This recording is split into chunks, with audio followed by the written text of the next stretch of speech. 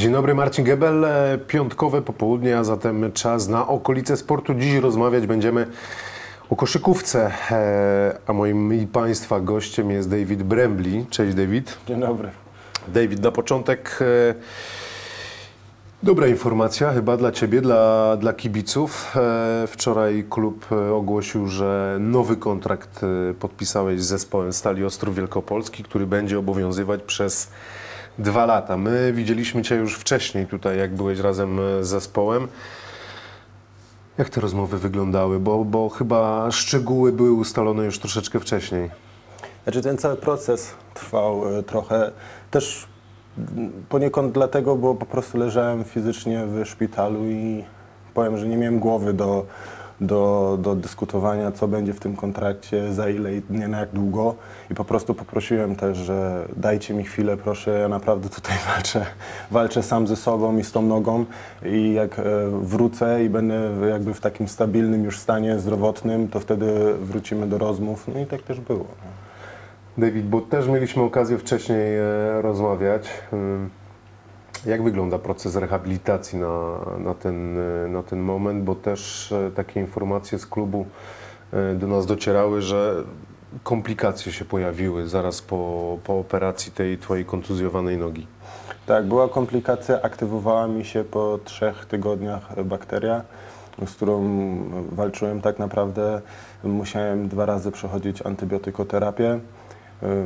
Musiałem mieć założony wakum, więc były, były komplikacje, to jest akurat prawda. W tym momencie wygląda bardzo fajnie, bo jest to już stabilne. Y, Jestem teraz akurat w momencie odbudowania mięśnia, więc na dzień dzisiejszy wszyscy jesteśmy zadowoleni z tego, jak to wygląda. Ale nie zmienia to faktu, że troszeczkę to pewnie możemy tak mówić, że, że ta bakteria, o której ty wspominasz, w jakimś stopniu opóźniła albo spowolniła proces rehabilitacji? Na pewno, myślę, że na pewno ze 6-7 tygodni kosztowało mnie to, bo jedna rzecz to jest bakteria, druga rzecz to też te tkanki teraz muszą się znowu jakby odbudować od tej bakterii.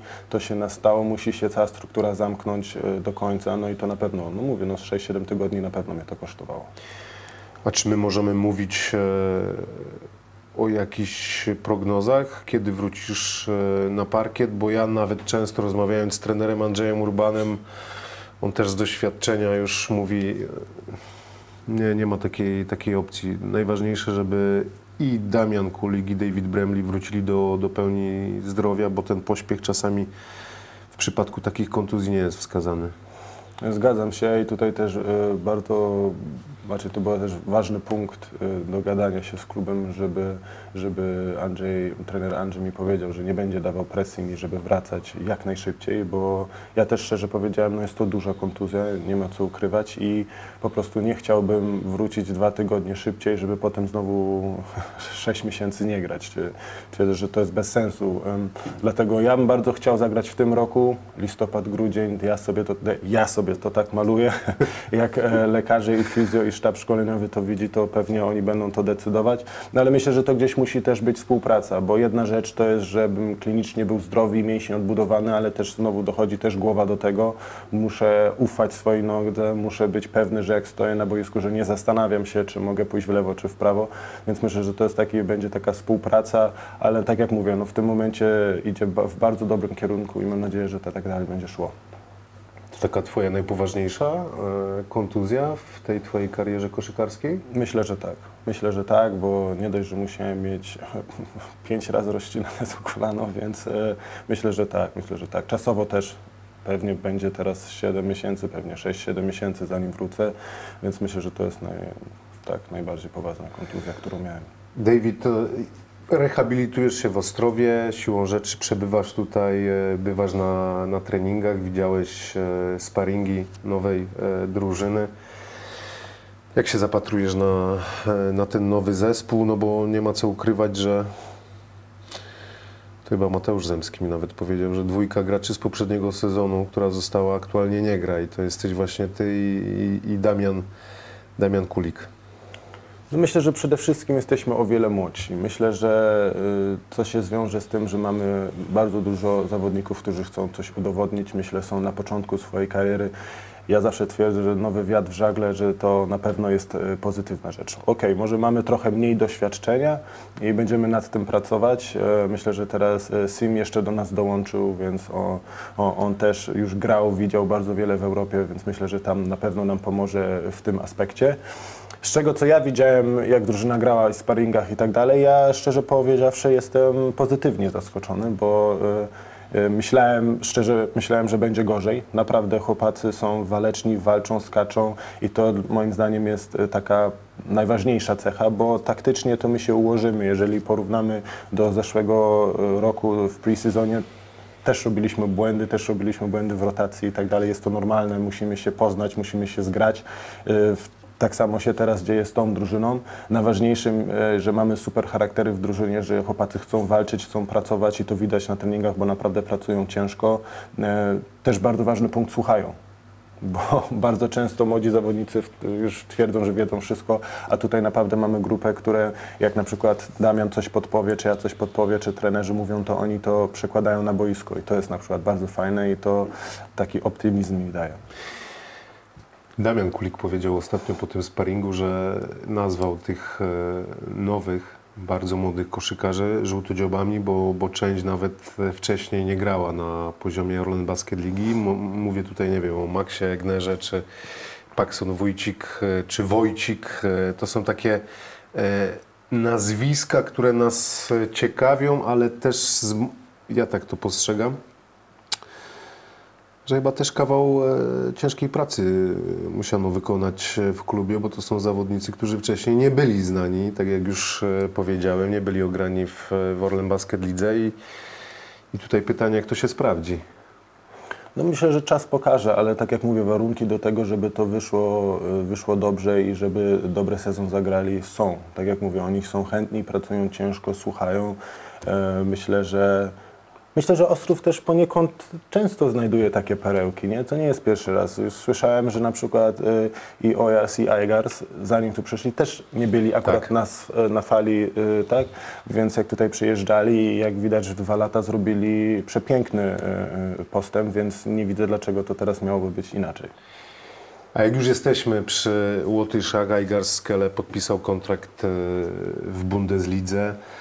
I też często e, czytając różnego rodzaju komentarze czy opinie ekspertów, e, to jest taki gracz e, na Bundesligę. Ja pytam Ciebie nieprzypadkowo, bo, bo kilka sezonów w tej Bundeslidze spędziłeś. Niektórzy mówią, może za słaby fizycznie, może za wolny, może brakuje mu jeszcze jakichś innych rzeczy, ale, ale Twoim zdaniem to jest gracz na, na Bundesligę?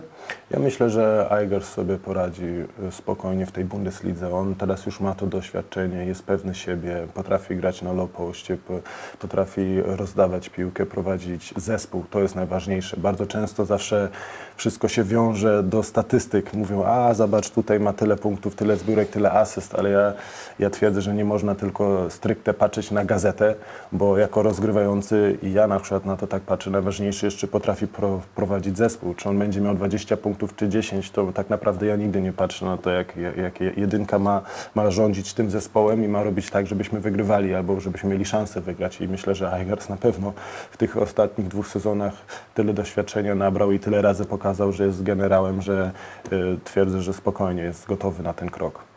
David, też e, mieliśmy okazję w poprzednim sezonie spotykać się przy okazji Twoich kampów. Od razu uśmiech na Twojej twarzy się e, pojawia. To jest taki projekt, e, który Ty będziesz chciał, żeby on się cały czas e, rozwijał, bo mówiłeś wcześniej, że w Trójmieście były organizowane teraz w Ostrowie Wielkopolskim w minionym sezonie. Jest generalnie zainteresowanie dzieciaków w różnych miejscach naszego kraju? Myślę, że tak. Teraz udało mi się ten kamp w Sopocie w te wakacje też zrobić, bo było ciężko, bo nie było wiadomo, czy w ogóle będę w stanie y, tam dotrzeć, ale daliśmy radę i było bardzo fajnie. W tym roku już i miałem, tak naprawdę miałem dzieciaków w całej Polski I, i, i jest to projekt, który naprawdę jest mi blisko serca i chcę go robić dalej. Mam nadzieję, że nigdy nie skończę robić kampów, bo naprawdę znalazłem w tym swoją radość, nie? Szczególnie jak kiedyś moje przygody z koszykówką się skończą, to myślę, że znalazłem miejsce, gdzie mogę dalej trzymać swoją pasję i mogę jakby przekazywać dalej te, tego, co ja się musiałem nauczyć, więc e, na pewno e, chcę zrobić camp w lutym jeszcze raz, jak będziemy mieli FIBA Break, jeżeli damy radę to zgrać z naszym wolnym i oczywiście z ligą, to jest jedyna rzecz, że zawsze, zawsze mówię rodzicom, rodzice się pytają, a, zrobisz tu, a zrobisz tu, ja mówię, chciałbym bardzo, pamiętajcie, że ja też jeszcze chcę chwilkę pograć, więc nie ma tego czasu dużo, ale jeżeli będzie opcja, to jak najbardziej. Ja twierdzę w ogóle, że no powiem szczerze, kamp miałem, nie miałem miejsc dwa dni, nie? Ostrów to jest, to jest miasto, ja twierdzę, koszykarskie, fajnie się tu gra, widać to na hali, widać to y, nawet dzieciaki, tak, ile jest dzieciaków, którzy tutaj grają w koszykówkę, jest, jest akademia też, jest pełna, tak, się rozwija, więc naprawdę twierdzę, że to jest, że to jest miejsce, które jest idealne właśnie, żeby robić takie kampy. Ale też e, można było zauważyć, e, zobaczyć na Twoich mediach społecznościowych, że też e, fajna inicjatywa, jeżeli mówimy o, przepraszam, jeżeli mówimy o, o Trójmieście, boisko na plaży pod gołym niebem. Tak, to jest w ogóle rzecz taka, taka trochę dream come true, nie? Z moim najlepszym przyjacielem Mateuszem Przytułą miał taki pomysł, mówi dawaj zrobimy boisko jak Venice Beach. Nie? Ja mówię, o teraz żeś, nie? On zawsze, jak ma jakiś pomysł, to taki najłatwiejszy do zrobienia, nie? Zaskoczy, I, ale mówię, dawaj robimy to. I y, daliśmy radę to spiąć. Trochę pracy było, trochę papierologii jest tego, też y, dla nas dobre doświadczenie, bo jakby ja z tym światem mało mam do czynienia, zawsze tylko kosz, sport, więc fajnie też było y, popracować trochę inaczej i zobaczyć, jak rzeczy funkcjonują i no powiem szczerze, że jedyne co, co, co, co tak cały czas tak uśmiech i jedna łezka leci, że ja nie byłem w stanie zagrać na tym boisku. Nie byłem, widziałem, dotknąłem, ale nie byłem w stanie zagrać. Przepiękna rzecz. I powiem Ci szczerze, że dla mnie najfajniejsza rzecz była ta, że po prostu jak przychodziłeś tam, to od 8 rano już są dzieciaki i grają. Bo to bo zrobiliśmy tak, że każdy może wejść w każdej chwili, jeżeli nie ma Nie było eventu. zamknięte boisko. Nie, nie było zamknięte. Było, ja twierdziłem, a ogólnie żeśmy twierdzili, że to nie o to chodzi. Bo ja nie lubię, nie podoba mi się to na przykład, że czasami masz orliki i tak dalej, jest piękne naprawdę boiska i one są zamknięte, bo nie ma nikogo, który pilnuje, więc dla nas był bardzo ważny punkt, żeby to, żeby to boisko było otwarte dla każdego i naprawdę codziennie Mateusz mi wysyłał filmiki, że zobacz ile dzieciaków gra, zobacz ile ludzi gra, zobacz jaki fajny projekt. Nie, naprawdę, naprawdę super Yy, i tu też, o, mogę też jeszcze raz podziękować właśnie naszemu głównemu sponsorowi, bo bez, yy, ten, bez grupy Orlen byłoby to niemożliwe, więc, ale naprawdę fajnie, że to się, że to się spięło, naprawdę mnóstwo radości mi, to dało. Jeżeli chcą Państwo zobaczyć, e, jak wyglądało to boisko, to zapraszamy na Instagrama e, Davida. E, David, bo skąd zrodziła się u Ciebie, e, skąd zrodził się u Ciebie pomysł robienia e, kampów? Bo też nie ma co ukrywać, że tych kampów w pewnym momencie był wysyp e, bardzo duży. Ale tak jak już wcześniej powiedziałeś, zainteresowanie jest, a to najważniejsze. Ten pomysł już powstał dawno temu, ale jakoś, wiesz jak to jest, nigdy nie ma czasu niby. Niby jest ten czas wakacji, ale niby go nie mam. Czasami mamy te dwa miesiące, czasami było tak, że miałem na przykład, w ogóle nie było wolnego czasu, bo na przykład jeszcze jeździłem na kadrę, więc e, ten pomysł gdzieś tam zawsze z tyłu głowy był. Myślę, że na pewno dało mi takiego, takiego kopa jeszcze jak widziałem, że Filip Matczak zrobił kamp i mnie zaprosił jako trener. I mówię, okej, e, podoba mi się to i chyba jest czas, żebym zrobił swój, bo ja też chciałem tak trochę że tak powiem, swoich przypraw dać do tego swojego kampu, nie? To ja chciałem, żeby to był taki David Bramley style, nie? I żeby było radośnie, żeby była muzyka, że tak jak mówię, taki swój styl jakby gry przyniosłem na kamp, bo ja twierdzę, że to bardzo dużo da dzieciakom i, i myślę, że będą i żeby fajnie się bawili na tym kampie. Przy okazji też pokazać im, jak wygląda życie takiego profesjonalisty, nie? bo to ok, jest fajnie, jest zabawa i rozumiem, że to są dzieci, jest to bardzo ważne, żeby one pokochały ten sport, bo bardzo często widzę, że dzieciaki w młodym wieku już ten trening jest tak trochę jak za karę. Wiesz, wiesz, w którą stronę chcę iść. I dla mnie jest bardzo ważne, że one, żeby dzieciaki w tym wieku jeszcze kochały ten sport, bo ta droga, żeby, żeby później zostać profesjonalistą jest ciężka i ja twierdzę, jeżeli ty nie kochasz tego sportu, to to jest bez sensu, nie? bo nie dotrzesz, nie? Dobry, dobry wątek y, poruszasz, y, bo jak ja byłem na, na tym Twoim kampie y, tutaj w Ostrowie Wielkopolskim, To nie była tylko koszykówka, były spotkania z psychologiem i jeszcze, jeszcze jakieś zajęcia yoga. Yoga była, tak, yoga i pilates, taki miks tego. Mieliśmy też, właśnie o Mateusz prowadzi przygotowanie motoryczne. No, bo to są te rzeczy, które ja na co dzień robię, które ja twierdzę, które są potrzebne, żeby, żeby być profesjonalistą w dzisiejszych czasach. No i jakby chcę, ja chcę tym dzieciom zawsze im tłumaczę, że wy macie taki cheat code, nie? Bo ja wam daję te wszystkie informacje, które ja gdzieś tam musiałem doświadczać, szukać Bo przez, tego. o ile się nie mylę, przez dwa dni dzieciaki niektóre nawet miały zeszyty i notowały wszystko, Tak, są notatki. Spotkacie się za rogi, pewnie e, Tak. będą zadania domowe sprawdzane. No na pewno, no ten, to ja, twierdzę, że to jest ich księga wiedzy. Yy, Ja mówię milion rzeczy podczas treningu, zwrócę Ci uwagę, tu stopa, tu to, tu ręka, tu zostaw. No nie jesteś w stanie tego zapamiętać. Ja sam mam zeszyt, do dzisiaj mam zeszyt, gdzie na przykład jak coś trener coś tam mówi, czy jakieś taktyczne rzeczy, które na przykład mi wypadają z głowy, sobie wpisuję i po prostu patrzę na to i mówię, a dobra, to muszę pamiętać. Dla tych dzieciaków może trochę inaczej, oni mają po prostu pamiętać te ćwiczenia, te uwagi, które im zwracam i sobie patrzysz zeszyt i sobie powoli, powoli, potem masz taką księgę i możesz sobie zawsze sprawdzić, co, a co trener David mówił o tym. I, myślę, że to jest ważne, żeby była kontynuacja tej pracy. I też e, podczas e, Twojego kampu e, rodzice przebywali na, na trybunach. Ja tak troszeczkę chciałem się właśnie odnieść do tego, co Ty powiedziałeś. Jeżeli nie kochasz tej dyscypliny, to nie będziesz grać w koszykówkę, nie masz takiego wrażenia, bo ja rozmawiając z trenerami, nie wiem, od piłki nożnej czy od, z innych dyscyplin, mm, że często takimi hamulcowymi e, dla bardzo młodych e, dzieci są właśnie rodzice. Ja twierdzę, że to jest Może tak, nie hamulcowymi, ale takimi osobami, które czasami potrafią zrazić do, do tego sportu, bo, bo są takie przypadki pewnie, gdzie na siłę te dzieciaki są, e, są pchane do, do sportu. wiesz, to jest, to jest takie, to jest delikatny temat, bo z jednej strony masz rację, niektórzy rodzice, ja nigdy nie twierdzę, że chcą źle, żaden rodzic nie chce Oczywiście. źle dla swojego dzieciaka. Oni chcą, oni chcą po prostu wytłumaczyć i ja też próbuję to dzieciakom wytłumaczyć, że w dzisiejszych czasach ten sport poszedł tak do przodu, że to nie starczy iść trzy razy w tygodniu, trochę porzucać i potem powiedzieć, ja chcę grać w NBA albo w PLK albo gdziekolwiek.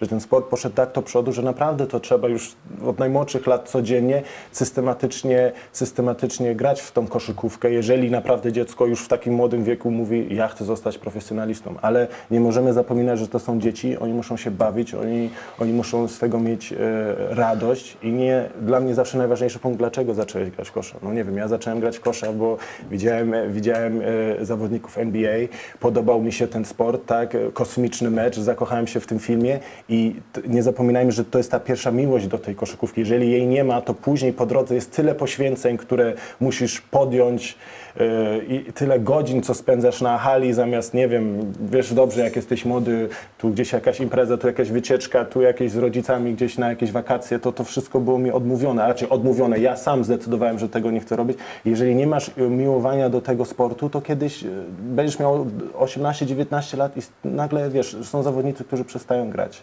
albo nie mają już tej radości. Więc ja mówię, że to jest taki miks i dlatego rodzice, ja rozumiem, że z jednej strony chcesz wytłumaczyć tą sytuację swojemu synowi czy córce, że słuchaj, jeżeli ty naprawdę chcesz to i my gdzieś tam w pewnym sensie też inwestujemy w ciebie, bo umówmy się, buty, jak ja patrzę teraz, jakie są ceny butów i tego wszystkiego sprzętu, to naprawdę nie jest tanie, to zrozum, że podchodzimy do tego poważnie, ale z drugiej strony czasami, jeżeli za dużo chcesz dać wiatru w żagle, nie, to dziecko się zniechęca. Więc jest to trudny temat, ale, ale twierdzę, że, twierdzę, że dlatego też na przykład na kampie mieliśmy, y, y, y, Jan poprowadził dla rodziców też takie pół godziny.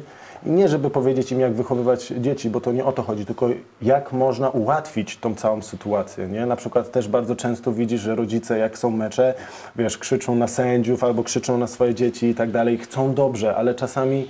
No umówmy się, ten sędzia, który tam o 10 rano wstaje, na pewno nie myśli, ale dzisiaj tym U13, tym dzieciakom to, z, e, wiesz, nie, wiesz, postawiłem na mecz, coś w tym stylu. No dlatego mówię, no to jest, to jest ciężki temat, ale dlatego właśnie chciałem, żeby to było w moim kampie, żeby była taka całość, nie? Że i dzieciaki coś z tego mają, i rodzice coś z tego mają. Myślę, że to jest super miks. To już na koniec, e, bo mm, sporą część e, kariery grałeś w Niemczech, e, wywodzisz się, e, masz też tam e, korzenie swoje.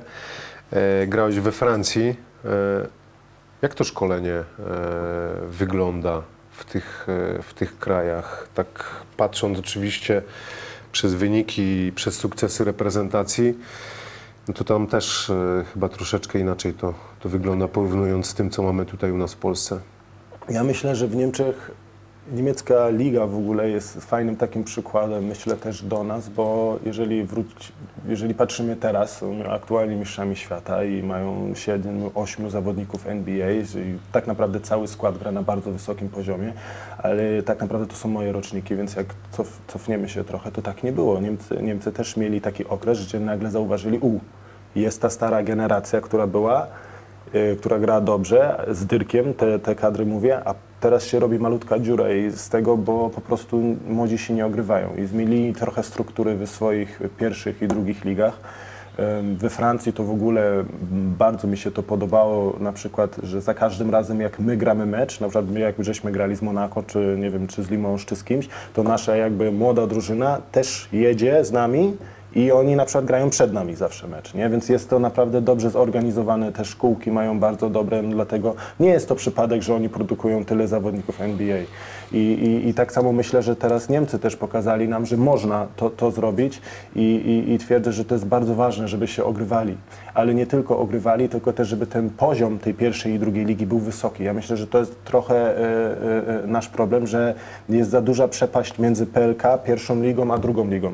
I nawet jeżeli jesteś zawodnikiem, e, jak na przykład Max, który w drugiej lidze, w pierwszej lidze, przepraszam, już bardzo dobrze gra i potrafi ją dominować, nie ma tego jeden do jeden przekładu, y, że będzie to działało i też w PLK. Nie? Dlaczego na, na przykład w Niemczech w pierwszej lidze i w drugiej lidze grają obcokrajowcy? Nie dlatego, żeby nie, młodym Niemcom zabierać minuty, tylko żeby podnieść poziom tej ligi i żeby oni się już przyzwyczaili do tej szybkości i atlet, atletyzmu. Myślę, że to bardzo dużo dało. David, dziękuję Ci bardzo za przybycie. Moglibyśmy jeszcze rozmawiać e, i 15, i 20 minut, tematy nie wszystkie e, wyczerpane. Ja życzę szybkiego powrotu do zdrowia, bo też domyślam się, że e, kiedy jesteś na boisku, kiedy jesteś z drużyną, to też głowa inaczej funkcjonuje. Dziękuję Ci bardzo. Dziękuję bardzo. Ja nazywam się Marcin Gebel, już tradycyjnie zapraszam za tydzień w piątek. To były okolice sportu i moim Państwa gościem był David Brembly.